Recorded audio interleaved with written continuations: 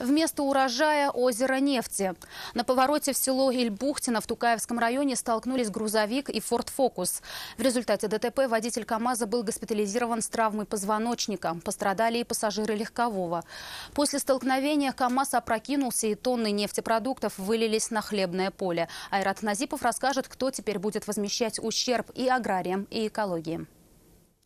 Версия автоинспекторов такова. 29-летняя женщина, управляя автомобилем Ford Focus, не предоставила преимущество грузовику, из-за чего машины столкнулись. КАМАЗ опрокинулся в кювет. Нефть разлилась на поле, засеянные озимами, загрязнив 150 квадратных метров земли. С самого утра сотрудники Камской строительной транспортной компании, водитель которой был участником ДТП, ликвидируют последствия. Рассыпают специальные средства, которые как губка должны впитать нефть. Чистим территорию и все сказали чистить. Каков ущерб, подчиненный фермерскому хозяйству и экологический вред, нанесенный окружающей среде, пока не подсчитано. С места аварии отобраны пробы почвы. Результаты будут готовы в течение 10 дней. По закону возмещать все предстоит Камской строительной транспортной компании.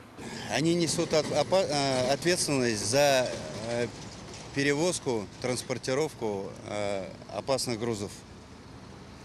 Пролив произошел не по их вине, однако загрязнение окружающей среды произошло по причине разгерметизации э, автоцистерны.